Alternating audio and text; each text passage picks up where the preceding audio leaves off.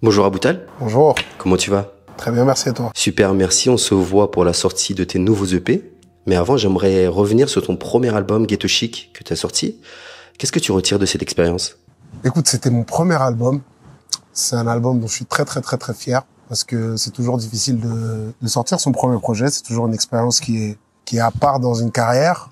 Et franchement, j'en tire que des enseignements positifs parce que j'essaie de faire exactement ce que je voulais, c'est-à-dire un album avec des sonorités différentes. Et les gens l'ont perçu exactement comme je voulais qu'ils le perçoivent. Tu faisais partie du groupe Shinsekai et vous aviez la faculté de faire des sons radiophoniques. Est-ce que tu as gardé cette facette de toi dans, dans ta propre musique? Il y a ceux qui connaissaient déjà Shinsekai euh, et qui, bon, étaient déjà intéressés par ma musique. Et il y a d'autres gens qui m'ont découvert, tu vois. Pour ces gens, ils savaient pas forcément que je faisais partie de Shinsekai. Et ça, pour eux, je suis clairement identifié. Pour les autres, c'est il y en a certains qui sont un peu nostalgiques de Shinsekai.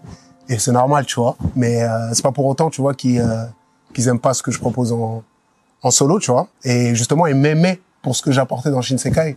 Et ils m'aiment encore plus pour ce que j'ai su apporter euh, dans Ghetto Chic et cette transformation et ce cheminement que j'ai eu jusqu'à cet album solo. T'as sorti un morceau qui s'appelle Vrai. Tu peux me parler de ce titre-là? C'est un thème, c'est une réflexion euh, euh, sur laquelle que que que que, que, j'avais. Tu vois, souvent quand j'écris des morceaux, j'essaye de quand même de donner quelque chose de positif aux gens et de donner un bon message. Donc toujours dans mon truc de rappeur et de gratter des textes, j'essaye de me dire est-ce que est-ce que dans 10 ans, est-ce que dans 15 ans, est-ce que dans 20 ans, je serai fier de ces morceaux, tu vois? Et euh, c'est une question, tu vois, que je me pose réellement. Donc il y a certains sujets que j'essaye de de de de de d'éviter, tu vois, parce que je me dis ah peut-être que dans 15 ans, 20 ans, je, ce sera pas quelque chose que je serai fier ou quelque chose que je serai content d'écouter à mes enfants. Et souvent dans le peura, tu vois, on parle de choses qui sont très négatives, de choses qui sont très négatives et on valorise ces choses-là. J'ai voulu aller à l'opposé à l'opposé de ça, tu vois, on valorise la rue, on valorise euh, la gueudreau, on valorise euh, la violence, tu vois. Alors qu'en vrai de vrai, c'est pété. Chaque personne qui te dira des vrais gens de la rue, ils te diront que c'est pété et c'est pas quelque chose qu'ils voudront pour le, qu'ils voudraient pour leurs enfants, tu vois. Et du coup, euh, cette notion de, de, de, vrai, tu vois, j'ai envie de la casser parce que souvent, euh, ouais, vas-y, on se dit ah c'est un bavon, c'est un vrai, il a fait ci, ça, ci, ça, ci, ça. Alors que ces choses-là sont négatives, tu vois. Et c'est pour ça qu'un morceau comme vrai, tu vois, la remise en question de c'est quoi un vrai. Et euh, c'est pour ça que j'ai voulu faire cette chanson, tu vois, pour remettre en question toutes ces valeurs qu'on prône souvent dans le peura et qui sont des valeurs qui sont pas forcément, c'est pas des valeurs qu'on voudrait pour nos petits frères, pour nos enfants, tu vois. C'est quoi un vrai? C'est pas celui qui vend la mort et qui finit chez les porcs, qui laisse sa daronne en galère quand t'abandonnes ta mère. T'es même pas la moitié d'un homme. On a tous été fascinés par la rue. On a tous été fascinés par la rue. J'ai été fasciné par la rue. Euh, comme je dis dans le morceau, tu vois, je regardais euh, des, des, des, dealers, tu vois, avec des grands soeurs quand j'étais petit, tu vois. Je les, pas je les enviais, mais limite, euh, j'avais envie d'être comme eux, tu vois. Et euh, je pense que c'est la jeunesse, tu vois. On a tous cette part de, de fascination un peu pour pour la belle vie, par l'argent facile et tout ça. Et je pense que c'est bien de d'apporter quand même une certaine un peu un peu d'eau dans le vin, tu vois ce que je veux dire ou pas d'apporter, dire que bon, ok, c'est bien, ça divertit, c'est tout ça truc, mais c'est pas vrai en fait. Tu vois ce que je veux dire ou pas? Je pense que on a tous et les, les je pense que les, tous les jeunes ont une fascination pour ça et c'est pour ça qu'il y a ce marché-là en fait. S'il n'y avait pas une fascination euh, pour la rue, eh ben le, la série Narcos elle marcherait pas autant. Euh, tous les films de gangsters ils marcheraient pas autant. On parlerait pas de Bonnie and Clyde qui sont des légendes depuis 1800 et on parlerait pas de Tony Montana. Donc il y a une certaine fascination euh, pour ça, tu vois. Et moi, je suis un rappeur, mais je suis aussi un être humain, tu vois, qui veut du bien pour euh, sa communauté, pour les gens, euh, pour pour les gens avec lesquels il a grandi, tu vois. Et j'ai envie de laisser une trace positive. Donc, j'essaie de faire des morceaux comme vrai aussi, qui disent quelque chose de réel et quelque chose de sensé et quelque chose qui pourront peut-être. Je dis pas que je vais changer euh, un an euh, les jeunes, tu vois ce que je veux dire ou pas. Mais s'il y a trois gamins à qui ça fait réfléchir, j'ai gagné déjà, tu vois. Est-ce qu'il y a un rapport différent au rap que par rapport à des films, par exemple? Pourquoi lorsqu'il s'agit de rap, on se dit que cet art se rapproche plus de la réalité euh, que les films? Pourquoi on va aimer un rappeur? Parce que le rappeur, il nous ressemble. Parce que le rappeur, euh, il a grandi dans des quartiers comme nous. Donc on a plus de facilité à s'identifier à lui. Et un rappeur, un film, ça dure une heure et demie. Un rappeur, tu as toute la, toute la journée, tu l'as le matin, tu te réveilles, tu prends ton transport, tu l'écoutes pendant 45 minutes. À ta pause, tu l'écoutes encore pendant 20 minutes. En rentrant le soir, tu l'écoutes pendant 45 minutes. Le message, il est tout le temps là, tout le temps là, tout le temps là, tout le temps là, tout le temps là. Et à partir d'un moment, ça banalise. Tu vois ce que je veux dire ou pas? Un film, ça dure euh, une minute trente, euh, une heure trente, pardon. Un rappeur, tu as toute la journée dans la dans la, dans la truc. Le rappeur, t'as l'impression c'est ton poteau. Le rappeur, des fois, est... je sais pas, tu te sens proche de lui, tu vois, parce qu'il il peut être de ton quartier, il peut être de la cité d'en face, tu vois. Donc euh, il y a toujours ce, ce, ce, ce- cette proximité, tu vois. Cette proximité, il parle en ta langue. C'est pas un Américain, c'est pas euh, comment s'appelle euh, Al Pacino, tu vois. C'est un mec qui a grandi comme toi et qui a à peu près le même chemin que toi, qui est allé à l'école de la République comme toi, tu vois. Donc t'es plus proche de lui. Si dans tes sons, si dans tout le Peura en fait, ça parle de charcler des gens, eh ben tous les jeunes ils vont penser que charcler des gens en fait c'est pas une dinguerie en fait. Tu vois ce que je veux dire? Puisque apparemment visiblement dans tous les quartiers on le fait. Tu vois ce que je veux dire ou pas? Donc euh, ça a une certaine influence tu vois ce que je veux dire ou pas? En tout cas ça banalise certaines choses. Moi en tout cas quand j'étais petit je peux te dire que par exemple avant d'aller aux embrouilles on écoutait des rappeurs wesh. on écoutait certains rappeurs pour nous galvaniser. Tu vois ce que je veux dire ou pas? Donc euh, oui non c'est certain. Oui moi je, je m'identifiais aux rappeurs et euh, et oui tu vois que ce soit les rappeurs de mon quartier euh, les rappeurs qui étaient un peu plus âgés que moi, euh, tu t'identifiais à eux. T'as envie de leur ressembler. Oui, clairement, j'avais envie de leur ressembler. Même si pour moi, par exemple, moi mes parents m'ont donné une bonne éducation. Hein. Ils m'ont donné une bonne éducation. C'est les rappeurs. Bah, c'est la, c'est déjà moi, c'est le rap qui m'a attiré dans la, vers la, vers la, vers la rue. Tu vois ce que je veux dire ou pas? Peut-être que si, si, si j'avais écouté moins de Peura, eh ben, peut-être que ça aurait- ça m'aurait moins attiré en fait. Tu vois ce que je veux dire ou pas? Et oui, bien sûr, j'ai essayé de, de, de, de, de du moins de ressembler aux rappeurs que j'écoutais. Oui, c'est vrai. Pourquoi est-ce que c'est moins sexy de parler, euh, je sais pas moi, des dérives de la rue plutôt que de la glorifier?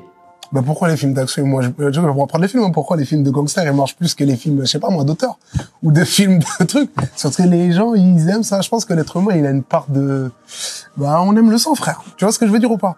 Euh, on aime le sang frère. Euh, on aime les films où ça se castagne on aime les films où truc il y a toujours cette euh, cette euh, cet attrait pour euh, ah je sais pas moi la violence le le- le- l'illégal euh, tout ce qui donne des sensations frère on a on a cet attrait on a cette curiosité euh, voilà, on parle de tous les de tous les gens qui entremets bandent sur la street, tu vois, excuse-moi pour le terme. Mais oui, c'est réel, il y a cette fascination et il y a ce ce euh, fantasme, fantasme pour les choses négatives.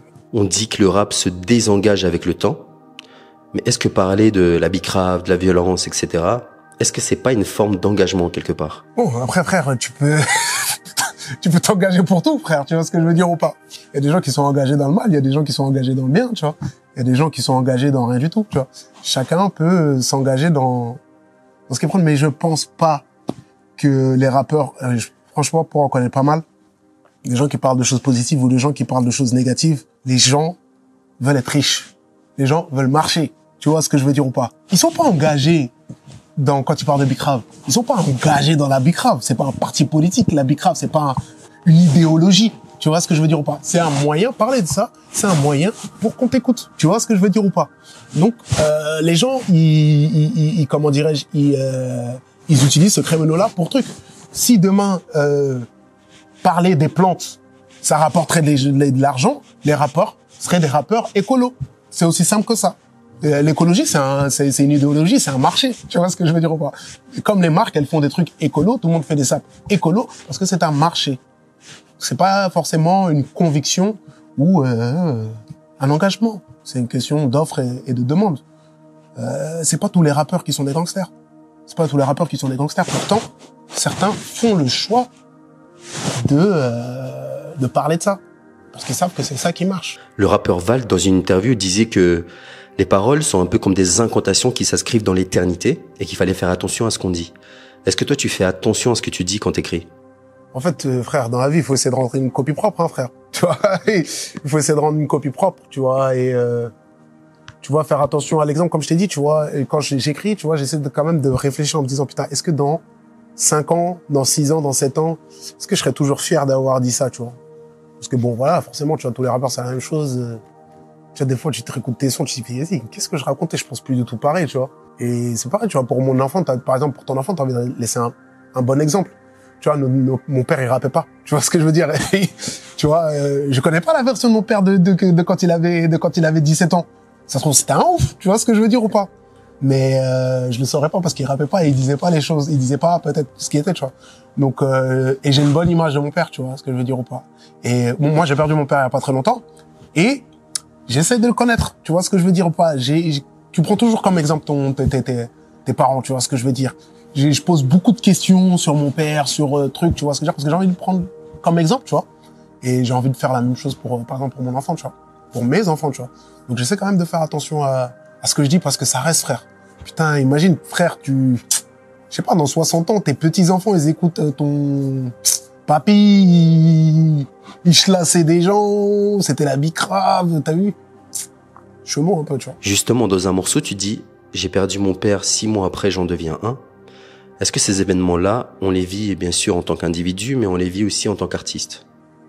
Euh, Quand je fais une phase comme ça, bah, je me dis que, frère, euh, c'est le fruit de ma réflexion. J'ai toujours pensé que euh, il y a une mauvaise chose qui t'arrive, il y a quelque chose de bien qui va, qui va, qui va arriver derrière. Tu vois ce que je veux dire Et euh, j'en ai eu une nouvelle fois la, la, la, la, la, la, confirmation, mais un level, euh, tu peux pas faire plus dramatique dans la vie, tu vois. t'as la vie et t'as la mort, tu vois ce que je veux dire ou pas. Donc euh, ouais, non, tu vois, je, m'inspire euh, réellement de de ce que je vis, de ce que je vis et de ma réflexion, tu vois ce que je veux dire. Un artiste, il délivre des messages, frère. Que tu fasses un film ou que tu fasses une poésie ou que tu fasses une sculpture, tu, tu, tu, tu, tu, tu donnes un message. Donc ton rap, il peut, il peut avoir un sens philosophique ou un sens ou un message tout simplement. Tu disais que quand tu as perdu ton père, tu voulais savoir qui il était. Est-ce que cette démarche-là est, est venue après qu'il soit parti? Non, ça a toujours été. Ça a toujours été parce qu'on a grandi dans des cultures où il n'y a pas trop, trop, trop, trop de communication. Tu vois ce que je veux dire? Il n'y a pas trop, trop, trop de communication. J'ai quand même la chance de, de, quand même avoir beaucoup parlé avec mon père, mais déjà on a une, on est des générations qui sont diamétrales, qui sont Enfin, je sais pas, tu vois, il est né en 47 euh, à Kolda, dans, dans, le sud du Sénégal. Je suis né en 91 à Paris et j'évolue dans les années 2020. Tu vois ce que je veux dire ou pas? Donc, euh, il y a déjà un fossé culturel, tu vois ce que je veux dire, inévitable. Et euh, du coup, euh, tu, tu, tu, tu, tu, tu cherches à connaître, tu cherches un truc. Moi, j'ai toujours été quelqu'un qui a été passionné par euh, déjà même le Sénégal. Tu vois, j'aime énormément mon, mon, pays d'origine, d'origine. Donc euh, oui, donc t'essayes de comprendre, t'essayes de trucs. Ah pourquoi mon daron il est comme ça? Ah ok, il n'a pas vécu de la même manière que moi.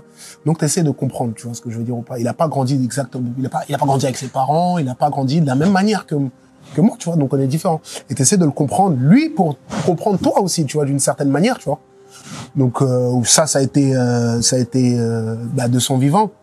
Et tu sais, après la mort, t'as toujours un peu cette nostalgie de trucs, ah, les questions que j'ai pas posées, ah, ceci, ceci, cela, tu vois. Donc, euh, ouais, non, c'est quelque chose que, qui, qui, qui, continue, tu vois, qui continue. Je pense que t'as toujours euh, cette euh, fascination pour ton père, quoi qu'il arrive, peut-être même quand t'auras 99 ans, tu seras toujours fasciné par ton père, c'est normal, je pense. Quel est le rapport qu'il avait avec ta musique? Bon, j'en parlais pas beaucoup. Tu sais que moi, mes parents, ils ont su que je faisais de la musique à partir du moment où j'ai signé mon contrat. Hein.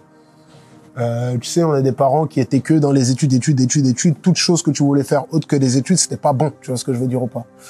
Ah, tu voulais faire du sport? Non, c'est les études. Tu voulais faire ceci, cela. Donc, je l'ai vraiment caché longtemps à mes parents que je faisais de la musique. Tu vois C'est très drôle ça parce que mon père, c'est quelqu'un de très pragmatique. Euh, je faisais euh, mes études et je lui dis, papa, bah, c'est truc. Même, c'est même pas moi qui lui ai dit. C'est un oncle à moi qui, lui, est aux States lui a dit, ouais, ton fils, il fait de la musique, il y a du genre là-dedans, tu vois ce que je veux dire ou pas, tu vois. Mon père, c'est quelqu'un très pragmatique. J'étais à l'époque de Shinsekai, donc je gagnais, je gagnais quand même pas mal d'argent à cette époque-là. Il m'a dit, euh, ok, tu gagnes combien avec la musique? Je lui ai donné une somme. Il m'a dit, je gagnerais combien en sortant d'une école, euh, je sais pas moi, après à la fin de tes études, tu gagnerais combien? C'est quoi qui vaut plus, ok? La musique, c'est ta musique, va faire ta musique, frère. Il m'a dit ça, tu vois ce que je veux dire et ça m'a même étonné, tu vois, parce que réellement dans ma famille, moi, c'est quelqu'un, quelque chose qui est... Euh, moi, ma daronne, par exemple, euh, la musique, elle veut rien savoir. Mon daron, il était un peu plus souple. Ma daronne, elle ne veut rien savoir. Elle m'envoie tout le temps des rappels sur la musique. elle m'envoie toujours des rappels sur la musique. Elle me dit, mais elle a raison. Elle me dit, euh, comment dirais j'essaie de trouver quelque chose de stable parce que c'est pas stable, tu vois ce que je veux dire. Mais en tout cas, euh, ouais, le rapport à la musique, moi, je l'ai très, très, je l'ai longtemps caché à mes parents, en tout cas. C'est pas quelque chose qui est, euh, ah, c'est pas quelque chose de noble, en vrai, chez nous. Tu vois ce que je veux dire? Déjà, de part culturellement, les castes, les griots, on n'est pas des griots, on est des tals. Les tals, c'est des nobles. Et, euh, vas-y, en fait, euh, dans leur conception, un peu, c'est pas, je viens de, mes familles, c'est des religions, un peu, tu vois. Donc, euh, voilà, tu vois. Dans Yakuza, tu dis on aime les pauvres, mais on n'a pas envie de le rester. On n'aime pas les riches, mais on veut tous en devenir un. C'est marrant parce que les rappeurs issus des quartiers populaires ont un héritage plutôt de gauche dans les idées, mais leurs textes semblent dire le contraire. J'ai plus que toi, j'ai ça, tu n'as pas, frère. Ouais, gros, eh, gros, tu sais que c'est des gens qui veulent le pouvoir, c'est des gens qui vont avoir le maximum de, de gens, tu vois ce que je veux dire ou pas? Bien sûr, c'est, eh, gros, c'est le, le rap, frère, dans le message, c'est, capitaliste, hein. T'as les ouf. C'est capitaliste, t'as les ouf, tu vois ce que je veux dire ou pas? J'ai de l'argent, t'en as pas. J'ai de l'argent, je suis bien. Vas-y, regarde-le, ils sont un chien. C'est des deux mères, frère. C'est, tu vois ce que je veux dire ou quoi C'est très matérialiste, c'est la méritocratie. euh, j'ai réussi, j'ai ceci, j'ai cela, tu vois. Et euh, ouais, dans les faits, c'est de drôle, c'est de, c'est de, c'est de. Si tu les écoutes, frère, t'as l'impression c'est des mecs, c'est, c'est des mecs, c'est des mecs de l'UMP, frère. Tu vois ce que je veux dire ou pas? C'est des mecs de l'UMP, tu vois. C'est des sarcos, frère. Tu vois ce que je veux dire ou pas? C'est des mecs qui sont bling bling. C'est des mecs qui sont sur des yachts comme Sarko, tu vois ce que je veux dire ou pas? C'est des mecs qui ont des Rolex comme Sarko, tu vois. Et euh, c'est fou parce que c'est vrai qu'il y a un parallèle, hein, frère. Il y a un parallèle dans le dans le dans, dans, dans, dans le message. On valorise beaucoup le matériel, on valorise beaucoup euh, plein de choses, tu vois. Moi aussi, tu vois. J'aime les belles choses, je vais pas mentir. Ça fait partie encore de ma contradiction, tu vois. Mais ouais, non, c'est vrai, c'est vrai, c'est très intéressant ce que tu dis. On n'aime pas les, ouais, on, on aime les pauvres, c'est un morceau, c'est- et c'est exactement le fond de ma pensée dans, quand, quand, quand, quand je dis ça, tu vois. On est des gens pauvres, mais on veut se tirer, frère. Tu vois ce que je veux dire ou pas? On rappe là, mais on rappe pour vous, mais vas-y, frère. On veut se tirer, frère. On veut se tirer d'ici, tu vois. Parfois, je me demande euh, cette surenchère-là pour impressionner, quand est-ce qu'elle va s'arrêter, quoi? Frère, c'est la culture du flex, frère. C'est la culture du flex. C'est qui va avoir telle chose de premier. La dernière fois, je parlais avec mon manager, on pensait, on parlait de SpaceX et tout ça, tu vois. Je disais, putain, bientôt, il y a un rappeur, il va faire un clip sur la Lune. Et je pense que dans notre vivant, on va le faire, tu vois, on va le voir, tu vois. Je pense, c'est fortement possible que dans notre vivant, on va le voir. Mais ouais, non, c'est la culture du flex, c'est la culture de, qui a plus, qui a, qui a truc, ça crée des besoins. Aujourd'hui, les types, frère, euh, ils, franchement, je, je, je, je, suis pas trop âgé non plus, tu vois. Je viens d'avoir 30 ans. Mais je sens quand même un gap euh, avec euh, avec la génération les 2000 encore ça va tu vois ce que je veux dire mais par exemple les 2001 2 3 on n'est pas du tout dans le même monde on n'a pas les mêmes besoins tu vois ce que je veux dire ou pas ils ont des besoins qui sont beaucoup plus élevés que ceux qu'on avait euh, aujourd'hui tu vois et les normes elles ont les standards en fait ont évolué tu vois ils sont beaucoup plus trucs tu vois euh, bon nous on voulait Adidas tu vois on voulait Adidas on voulait Nike tu vois eux c'est basique pour eux tu vois ce que je veux dire c'est euh, par exemple euh, la marque basique qu'on pouvait avoir quand nous on était petits, tu vois. Alors que nous, le Nike, le Adidas, c'était déjà pas mal, tu vois. Tu pouvais pas avoir mieux que Nike Adidas, tu vois. Mais eux, c'est Gucci, c'est du luxe, tu vois ce que je veux dire ou pas. Le, le, le- ce qui est bien, c'est devenu le luxe. Nous, on regardait même pas le luxe. Moi, j'ai appris Gucci et, et Louis Vuitton tard, hein. J'ai appris Gucci et Louis Vuitton vers euh, 22, 21. Non, je, je mens un peu. Vers 19 ans, tu vois. Mais aujourd'hui, à 4, 13, 14 ans, ils connaissent, hein, frère. Moi, je connaissais pas du tout. Donc, les standards ont évolué, tu vois. Et euh, voilà, quoi, c'est les réseaux, c'est les rappeurs. Bon, moi, les rappeurs, ils portaient du, du, du, du, du Nike et du Adidas, tu vois. Ils portaient pas forcément. Après, c'était pas le même argent aussi dans le rap, quoi que si. Ça, enfin, je sais pas, je sais pas en vrai. Mais euh, en tout cas, les standards ont évolué. Et on crée les besoins. On crée les besoins, tu vois. On crée, donc euh, moi, je m'identifiais à un rappeur qui est habillé en Adidas, bah je vais les m'habiller en Adidas. Bah le type qui voit, voit déjà beaucoup plus le rap. Parce qu'avant, nous, on voyait le rap, bon, on l'entendait beaucoup à la radio et tout ça, mais on le voyait moins. C'est pas tout le monde qui voyait les clips, tu vois. Mais là, aujourd'hui, tu le vois, tu l'as tout le temps sur ton téléphone, tu l'as tout le temps partout, tu l'as, dès que tu lèves la tête, tu vois un rappeur, tu vois. Et euh, il porte du Gucci, frère, tu vois ce que je veux dire. Donc, tu veux porter du Gucci, tu vois. Donc, qu'est-ce que tu vas faire pour porter du Gucci? C'est ça. Pas toujours des trucs bien. Est-ce que les rappeurs deviennent des vendeurs? Aujourd'hui, le courant artistique qui a le plus de visibilité dans le monde, c'est le Peura. C'est le Peura, donc euh, oui, euh, frère. euh, et qui fait vivre le Peura Parce qu'il y a plus de pauvres que de riches dans le monde. Tu vois ce que je veux dire ou pas C'est les pauvres, tu vois.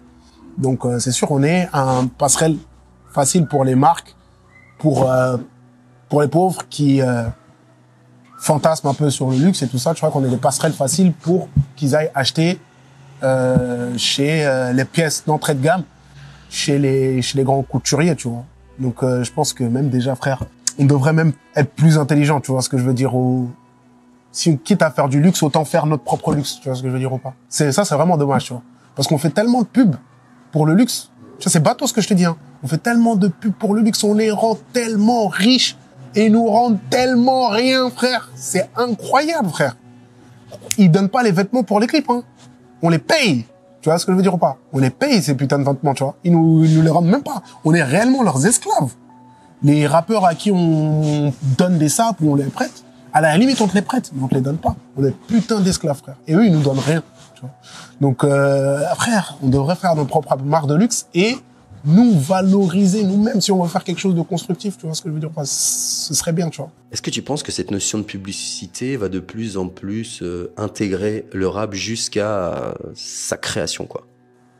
Bah, j'ai déjà entendu des que trucs comme ça. Je sais pas si c'est vrai. Hein. Il y a des gens qui avaient dit que Lil Pump, il avait été payé par Gucci, ou je, je sais pas du tout si c'est vrai.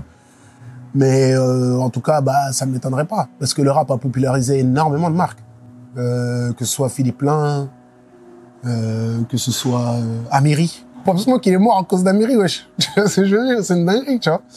Et, euh, et ouais, non, non, non, on a popularisé réellement. Mais ce serait bête pour eux de pas s'installer, de pas s'intéresser aux, aux euh, les marques de luxe, je pense, qui, qui, qui, qui font, qui ont peut-être fait le plus de chiffres sur ces dernières années. Ce être des marques qui sont popularisées par les rappeurs, tu vois. Quand on pense à quoi? Quand on pense à luxe, quand on pense à Gucci. Gucci, c'est le mot qui, qui sort le plus facilement. On pense à Louis V, Dolce Gabbana un peu moins en ce moment, Prada, tu vois, bah, c'est des marques qui sont portées par les rappeurs, frère. C'est des marques qui sont portées par les rappeurs. Donc euh, oui, c'est normal que les marques s'intéressent aux, aux, rappeurs et qu'ils leur demandent. Ça m'étonnerait pas. Je n'ai absolument rien à rajouter, Monsieur Nikita, à part que ce fut un plaisir et c'est toujours un plaisir d'échanger avec toi. Et je souhaite beaucoup de réussite à ton média parce que c'est un beau média.